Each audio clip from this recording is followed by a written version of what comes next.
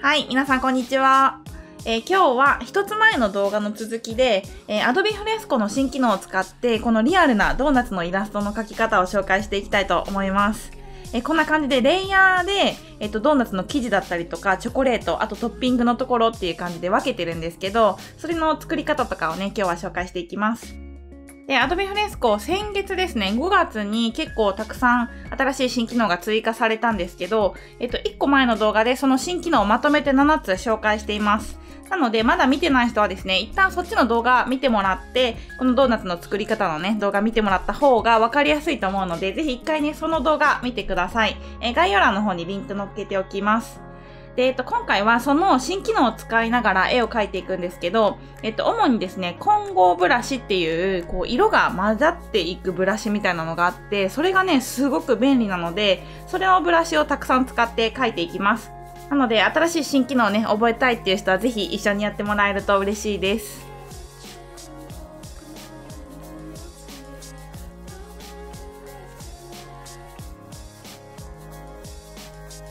はい、じゃあ始めていきます。えー、Adobe Fresco を立ち上げたら新規キャンバスを作っていきます。え新規キャンバスは左の下のところにですね、新規作成っていうボタンがあるので、ここを押していきます。えっ、と、今回は、えキャンバスのサイズ何でもいいんですけど、えっ、と、現在の画面のサイズっていうのを指定していきます。えっ、と、これにすると、この iPad の、皆さんが使ってる iPad の画面サイズのキャンバスが現れるっていうような感じです。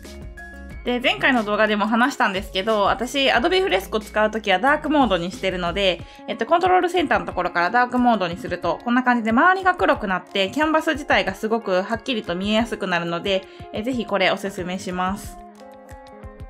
はい、じゃあまず新規レイヤーを右のところからプラスで作ってください。で、ここにドーナツの丸型を書いていくので、えっと、その時に使えるのが新機能のシェイプツールかな図形ツール、シェイプツールを使って、こんな感じで丸を画面上に配置させます。これを使うとすごく綺麗な楕円を作ることができるので、まあ、こんな感じで配置してください。で、ちょっとだけ左上に配置するような感じにするといいと思います。あとで右下のところにね、ドロップシャドウとかを書いていくんですけど、その時のためにちょっと左上に配置しています。で、カラーピッカーのところから色を何色でもいいので取ってもらって、えっと、下の塗りっていうところを押すと、こんな感じで、えっと、ベタ塗りされます。ちょっと今グレーで塗りつぶしたんで分かりにくかったんですけど、色は何色でもいいので塗りつぶしてください。で、この楕円形を見本に上から、えドーナツの形をかたどっていくんですけど、その時に使うのが混合ブラシです。一番上のツールパネルの一番上のブラシボタンを押して、この中に混合ブラシっていうのがあります。で、混合ブラシの中にもたくさん種類があるんですけど、今回はすごいベーシックなブラシ混合っていうやつがあるので、それを選んでください。で、ブラシの横に星マークとかもあるので、この星マークついてると、お気に入りのブラシセットの中に入っていくので、えっと、星マークつけててもいいと思います。で、カラーピッカーのところから色を取ります。えーパン生地の色を取りたいので、だいたい薄い黄色、薄いオレンジぐらいの色を取ってください。で、この状態でプラスボタンで、右のプラスボタンで新しいレイヤーを1個上に作ってください。で、えっと、ここにパン生地ですね、を書いていくんですけど、このさっき作った楕円形をちょっとはみ出すぐらいの感じで、え縁取っていきます。で、この時、あまりにも綺麗に描かないように注意してください。あの、ドーナツの生地とかってね、ボコボコしてたりとかすると思うんですけど、それを意識しながら、あえてガクガクに描くのもいいと思います。で、ちょっとはみ出す感じですね。さっきのグレー色の楕円からはみ出すような感じにして、で、できたら塗りつぶしツールでポンって押してあげると塗りつぶしすることができます。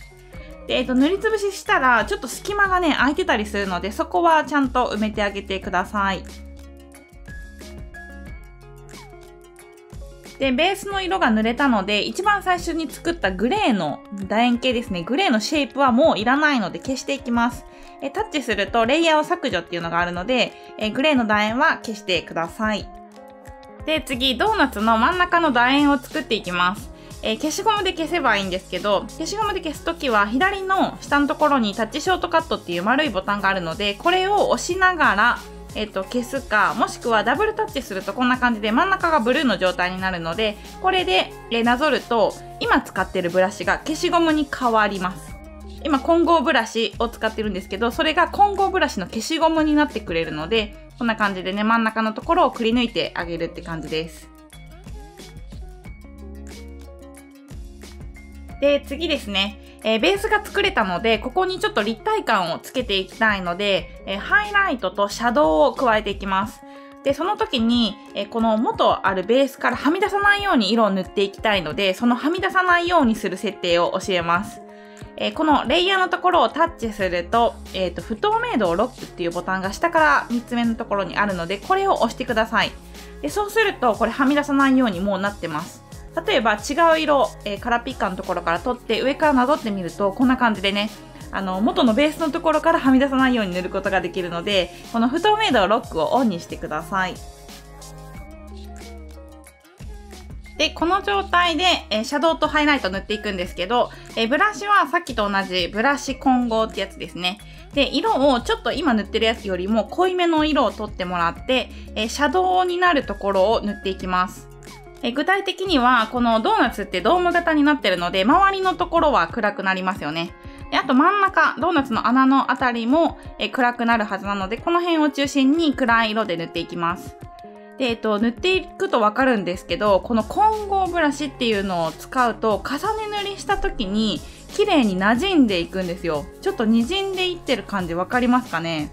こんな感じで、結構今大げさにやってますけど、えー、太いブラシでグッて力入れてやると、もうかなり滲んでいきます。で普通だったらぼかしツールみたいなのを使って上からねぼかしていく必要があるんですけどこの混合ブラシは今取ってる筆の色と元のベースの色とその中間色をですねうまくなじませていってくれるっていうような感じですこれがねとても使えるんですよねこういうリアルなイラストを描きたい時って、まあ、色の境目っていうのはなるべくないようにしていきたいので、この混合ブラシを使いながら色をなじましていくといいと思います。で、今回のイラストは左上から光が入ってきてるようにしたいので、えっと、その光をちょっと感じるように色を塗っていきたいんですね。で、さらに濃い色を取って、え右下のあたり、この辺っていうのが一番暗くなるんですけど、ここに、えっと、もっと暗い色をのせていきます。で、えっと、ドーナツの穴のところですね、の左上あたりも暗くなるので、ここも暗く塗っていってください。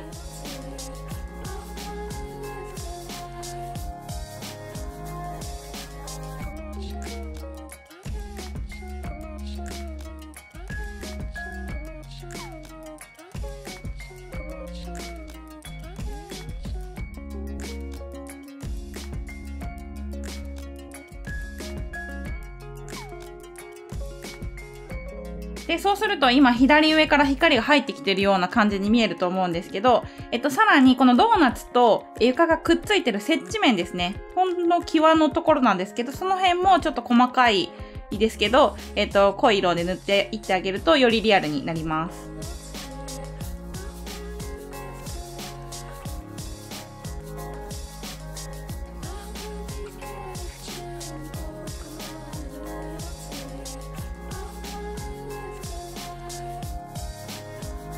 で、ここまでできたらドーナツのところ完成なんですけど、えっと、ちょっと食べかけみたいな感じで作っていきたいんですよ。で、かじった表現を作っていきたいので、ドーナツのこの右上のところですね、をかけさせていきます。えかけさせるときは消しゴムで消していきます。え消しゴムツールを取ってもいいんですけど、左下の、え丸いタッチショートカットですね。ここを押しながら書くと、今使ってるブラシが消しゴムに切り替わるっていうのはさっき教えたと思うんですけど、このやり方でもどっちでも大丈夫です。やりやすい方法で、この右上をかけさせていってください。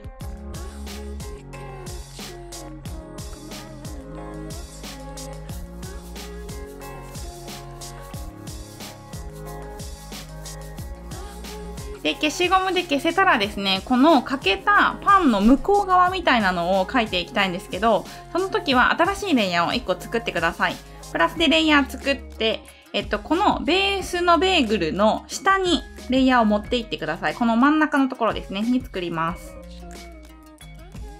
で、ここにちょっと薄い色をとってですね、この奥行きというか、欠けたパンの表面を描いていきたいんですね。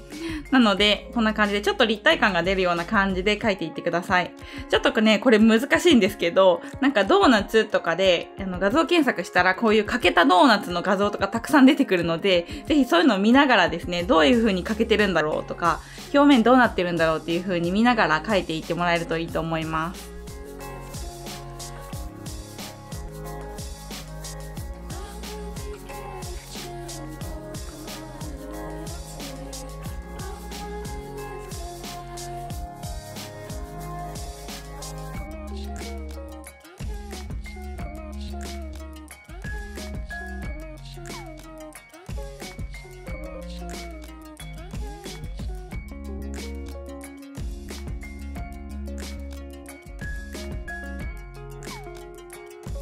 はい、じゃあここまでできたら次チョコレートの部門に入っていきます。え新しいレイヤーをプラスで1個上に追加してください。一番上に追加します。で、ここにチョコレートを塗っていくので、えっ、ー、と、色はチョコレート色ですね。赤のとこら辺に持っていって、で、暗くするとちょうどチョコレートみたいな色になるので、この辺の色を取って上に塗っていきます。で、この周りからだんだん描いていって、後で真ん中を塗りつぶすっていうやり方が一番いいと思うんですけど、まあ、チョコレートがどこにかかってるのかなみたいなのをですね、予想しながら、もしくはなんか画像検索して、こういうのをどこにチョコレートかかってるんだろうっていう見ながら描いていってください。で、私はさっき書いたパンのところをですね、ちょっと見せたかったので、あの、控えめにチョコレート書いたんですけど、あの、書いてみて思ったのは、もう少しチョコレート足した方が良かったなって思いました。結構多めにチョコレートかけてるような感じで書いてもらっても大丈夫です。ちょっとね、もうパン隠れるぐらいまで書いてもいいと思います。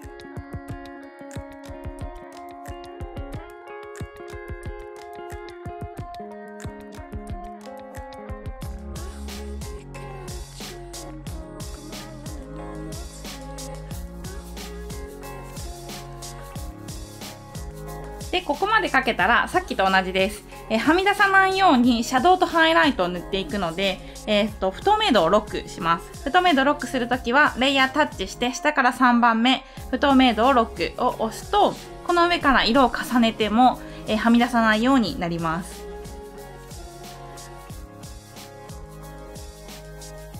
なので、この状態で、ちょっとピンクめの白を取って、えっと、ブラシはもうずっと、あの、ブラシ混合ってやつを使ってるので、こんな感じで馴染ませながら色を重ねていきます。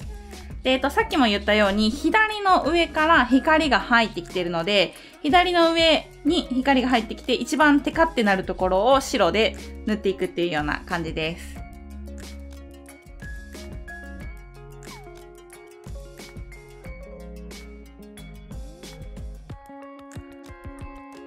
で、次、シャドウですね。シャドウはもう結構黒目に近い茶色を取ってもらって、えさっき言ったように右下のところが暗くなりますね。左上から光が入ってきたら、右下の部分が一番暗くなります。で、この辺が暗くなるのと、あとドーナツの穴の左上のところですね。も暗くなるので、この辺を暗く塗っていってください。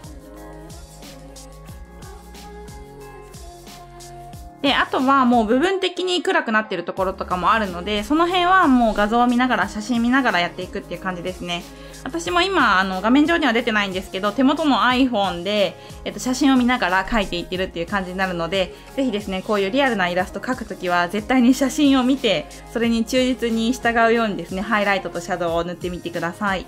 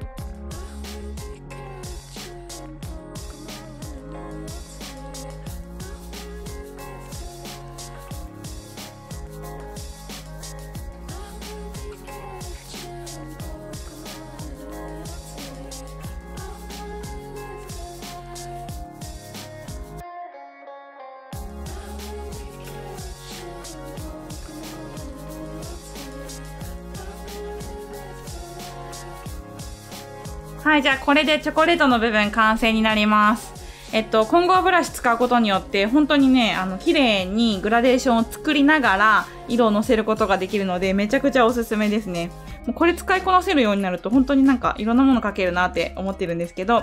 えっとまあこんな感じでじゃあベーグルのところとチョコレートかけたので上に装飾みたいなチップみたいなのをね作っていきたいのでそれを作っていきますえっと新しいレイヤーをプラスボタンで作ってください一番上にレイヤー追加ですで、えっと、ここに、えチップ乗せるんですけど、その時は違うブラシを使っていきます。えブラシの汎用っていうボックスの中にハード円っていうのがあります。本当にもうあの硬いブラシみたいな感じなんですけどそれを使って、えっと、上にちっちゃいチップが乗っているようにもうちょんちょんちょんちょんっていう感じで描いていきます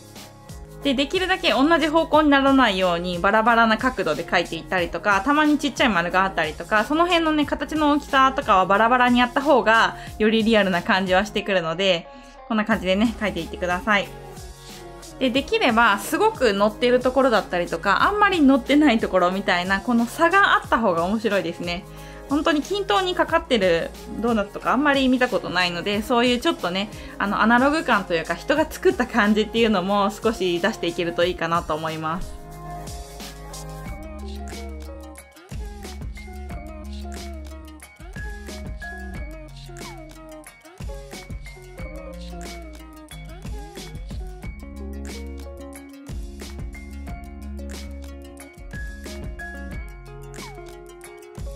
今これ全部ピンク色なんですけど、ちょっとカラフルなチップに変えていきたいので、えっ、と、色を変えます。で、色を変えるときもさっきと同じですね。えー、不透明度をロックしてやっていくので、このレイヤーのところをタッチして、下から3番目、不透明度ロックをオンにしてください。で、例えばこれカラーピッカーのところから黄色を取って、えっと、上からなぞってみると、こんな感じで、えっと、さっき不透明度をロックにしたので、はみ出さないような設定になってるので、その塗ったところだけが色が変わるっていう感じですね。なので、こんな感じで、えっ、ー、と、じゃあ次、ブルー色、黄緑色みたいな感じで変えていってもらってもいいんですけど、えっ、ー、と、ちょっとここで新機能をですね、使っていきます。えっ、ー、と、マルチカラースポイトっていうのをですね、ちょっと紹介したいので、それのやり方です。で、画面のどこでもいいので、えっと、このチップに適用させたい色を4色ぐらい、ここにちっちゃくですね、丸で塗ってください。今だとオレンジ、黄色、ピンクぐらいで作っています。で、この状態でスポイトでカラーを取っていきます。で、スポイト左下にあるんですけど、これ押すと下にですね、新しくマルチカラーボタンっていうのができてるんですね。で、これを押した状態で、えっと、カラーピッカーでこうやって色のところに上にかぶせると、このターゲットのあたりの、色を何色か取ってくれて、それでミックスブラシみたいなのを作ってくれるんですね。で、ブラシはですね、同じハード円を使ってちょっと塗ってみます。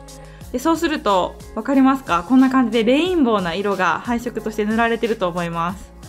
で、今適当にブラシ走らせてるだけなんですけど、なんかカラフルなミックス色みたいなのが勝手に作ることができます。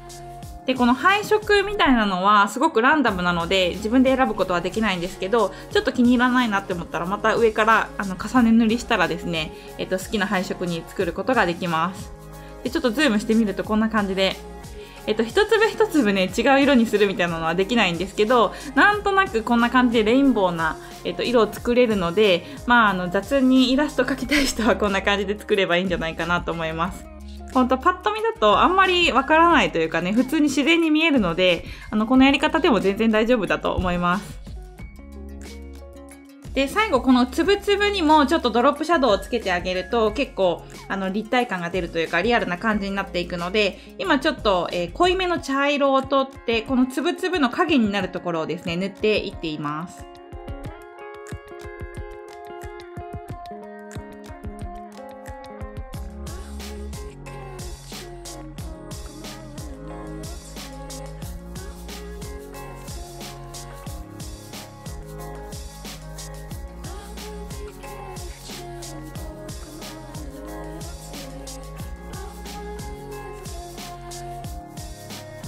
はい、じゃあこれでドーナツとえチョコレートとチップのところ完成になります。で、最後ですね、このドロップシャドウというか床のところを描いていきます。え一番下に新しいレイヤーを追加してください。えここに黒色でシャドウを塗っていくんですけど、最後使うブラシは、汎用っていうボックスの中のソフト N っていうブラシですね。一番上のやつ、これを使っていきます。で、これを選んで、えー、ブラシの太さとちょっと薄さをですね、この左の下のところでコントロールして、で、床のシャドウを描いていくんですけど、えっと、何回も言っているように、左上から今光が入ってきてるので、え右下に向かってドロップシャドウが入ってきます。この辺りですね。で、この辺りをあんまり強く描かないように、えっ、と、筆圧を弱めて、ふわーんという感じでね、えゆっくりゆっくり重ねて描いていってください。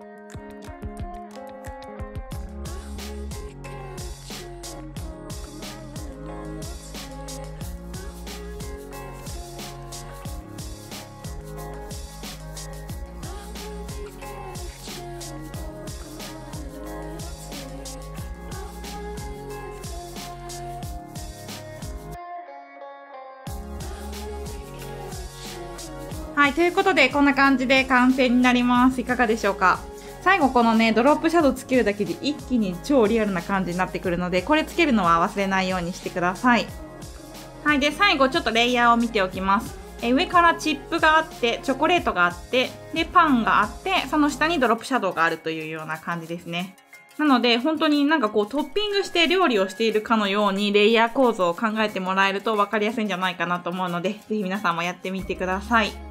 はい。で、今日のデザインデータなんですけど、私がやってるオンラインサロンの、えー、iPadMate っていうところにですね、このオリジナルデータを投稿しておきます。えー、Adobe Fresco ですね、Photoshop のデータになってるんですけど、それダウンロードしてもらえれば、こんな感じでレイヤー構造がどうなってるかっていうのをですね、実際に中を見て開いて、えっと、確認することができるので、オンラインサロンの人はぜひこれダウンロードして、えチェックしてもらえると嬉しいです。で、えっと、過去のデータとかも全部ダウンロードできるようになっているので、え興味ある人はぜひ概要欄の方から iPadMate を見てもらえると嬉しいなって思います。はい、ということで今日は以上になります。最後まで見てくださってありがとうございました。ぜひこんなの書いてみたいよみたいなね、コメントあればぜひお待ちしてますのでよろしくお願いします。